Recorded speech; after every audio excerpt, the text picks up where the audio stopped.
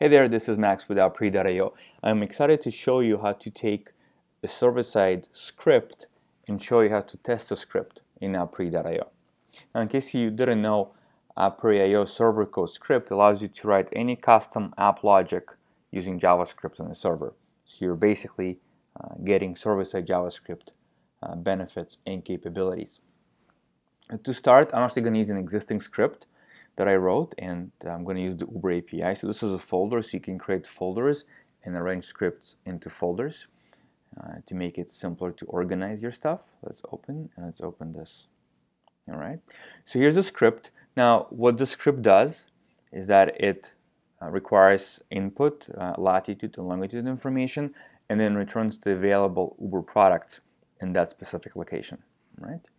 Um, and this is where we send uh, the request to uh, to Uber. So, you know, before using this in your app, right, uh, you want to test to make sure it works here. And that's very simple to do. Uh, you just switch to run and just click save and run. And right away we get the information from Uber. So for example, we get, uh, there is the uh, Uber X, right, Uber X right here. And um, let's scroll a little bit down. Uber Select, and so on. So just whatever products are available. Now, um, the script uh, requires two parameters, latitude and longitude, and you can, of course, create any number of parameters. So to define those parameters for testing, just switch to script parameters. And you can see this is where we define the parameters, and you also enter sample data. Just as simple as that, right? You can enter any sample data here.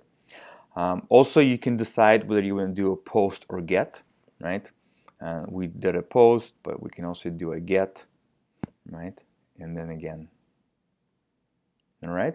Now you know obviously as you're developing you're going to make um, some mistakes some you know some errors. You have to debug the script. Uh, but that's also very simple. So just an example let's say that we you know enter the incorrect um, you know API key here or the token for Uber so I'm just gonna add a one at the end right? Then we right? And then what happens, you still get a response from Uber, but then you can see that it says no authentication provided. It just means that the API key uh, or the token is incorrect here, right? So that's how you can kind of, oh, I need to fix this, the token here, right? Um, let's say, for example, that uh, you know we don't specify, you know, we don't pass in the right the right parameter, and maybe just something like this and then save and run. Right and you can see right here that we get um, right the latitude is missing. Right so you kind of know you can fix that. Uh, what else you can do is you can also um, add some debug information if you need to and that's using the console API so for example and what's nice is that if you put a period and press control spacebar you actually get code assist and you can see that. Right? so let's say you want to uh, print the entire response, right? So something like this. Now, where you're going to see this is actually right here. This is what we call the trace information, right? So this response is what the uh, script returns, right? Uh, and this is, of course, uh, just for debugging useful. The trace info is right here. Right? Now, you can also view the trace info here as well. It shows you at the top the last, uh, the last response here right? So again, um, definitely use this uh, built-in testing capability. Again, make sure the uh, script works.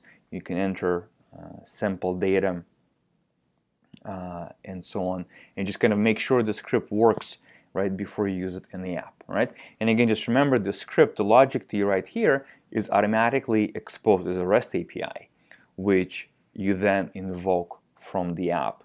And then this API is uh, the REST API is right here, right? And from the app builder, and I'm actually going to do a separate video on that, uh, you can then automatically generate a service to invoke this server code script, right? So um, I hope this was helpful, um, and thank you for watching.